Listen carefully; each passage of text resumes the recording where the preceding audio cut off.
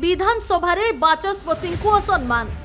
ବାଚସ୍ପତିଙ୍କ ଉପରକୁ ବିଜେପି ନେତାଙ୍କ ଡାଲି ଫିଙ୍ଗିବା ଘଟଣାକୁ ବଡ଼ ମୁଦ୍ଦା କରୁଛି ଶାସକ ବିଜେଡି। ଖାସ୍ କରି ଦଳର ମହିଳା ନେତ୍ରୀମାନେ ଯେମିତି ରାଜ୍ୟ ବିଜେପିକୁ ଟାର୍ଗେଟ କରିସାରିଛନ୍ତି। ଡାଲି ଫିଙ୍ଗିଥିବା ଦୁଇ ବିଜେପି ବିଧାୟକ ମୁକେଶ ମହାଲିଙ୍ଗ ମୋହନ ମାଝୀଙ୍କ ବିରୋଧରେ ମହମବତୀ ରାଲି କରିଛନ୍ତି। ଦୁଇ ବିଧାୟକଙ୍କୁ ଗୃହରୁ ନିଲମ୍ବନମୂଳକ କାର୍ଯ୍ୟାନୁଷ୍ଠାନକୁ ସ୍ୱାଗତ କରିବା ସହ ଅଭିଯୋଗ କରିଛନ୍ତି। ବାଚସ୍ପତି ଆସନରେ ପ୍ରମିଳା ମଲ୍ଲିକଙ୍କୁ ଦେଖି ବିଜେପି ମୁଖ୍ୟମନ୍ତ୍ରୀଙ୍କ ମହିଳା ସଶକ୍ତିକରଣ ଅଭିଯାନକୁ ଗ୍ରହଣ କରିପାରୁନି। କିନ୍ତୁ ଦୁଇ ବିଧାୟକ ଯେତେବେଳେ ଗୃହ ବିଷୟ ଗୃହ ଭିତରେ ଅବ୍ୟବହାର କରିଥିଲେ ଅସାମ୍ବାଦିକ ବ୍ୟବହାର ଥିଲା ଅଭଦ୍ରାମୀ କହିଲେ ଅତ୍ୟୁକ୍ତି ହେବନି। ଜଣେ ମହିଳା ବାଚସ୍ପତି ଯେତେବେଳେ କାର୍ଯ୍ୟ କରୁଛନ୍ତି ଗୃହ ଚାଲିଛି ତାଙ୍କ ଉପରେ এই ସାମଗ୍ରୀ ପକେଇକି ଯେଉଁଭଳି ଭାବରେ ତାଙ୍କୁ କେବଳ ଅପମାନ କରିନାହାନ୍ତି ପୁରା ମହିଳା ଜାତିକୁ ଅପମାନ କରିଛନ୍ତି।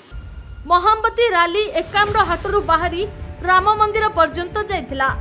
ସେଠାରେ ଶହ ଶହ ମହିଳା ନେତ୍ରୀ ଓ କର୍ମୀ ଏକତ୍ରିତ ହୋଇ ବିଜେପିର ଦୁଇ ବିଧାୟକ ଯେଉଁ କଳା ଅଧ୍ୟାୟ ସୃଷ୍ଟି କରିଛନ୍ତି ତାହାକୁ ନିନ୍ଦା କରିଥିଲେ।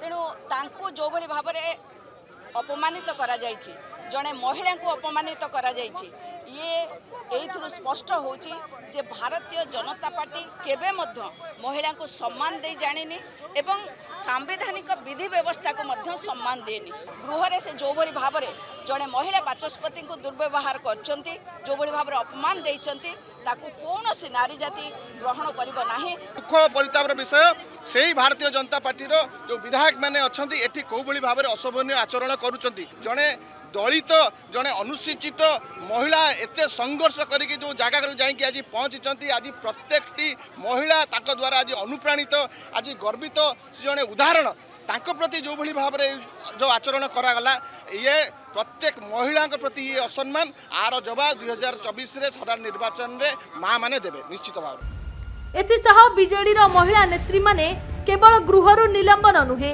ବିଜେପିର ଦୁଇ ବିଧାୟକ ସର୍ବସମ୍ମୁଖରେ ସାରା ଓଡ଼ିଶାବାସୀଙ୍କୁ ନିଃସର୍ତ୍ତ କ୍ଷମା ମାଗନ୍ତୁ ବୋଲି ବି ଦାବି କରିଛନ୍ତି। ଫଳରେ ଅଡୁଆର ଗଭୀର ଗାତକୁ ଗଳି ଗଳି ଚାଲିଛନ୍ତି ବିଜେପିର ଏହି ଡବଲ ଏମ୍ ଭୁବନେଶ୍ୱରରୁ କ୍ୟାମେରା ପର୍ସନ ଦିନକୃଷ୍ଣଙ୍କ ସହ ବବିତା ଦିନାଙ୍କ ଟିଭି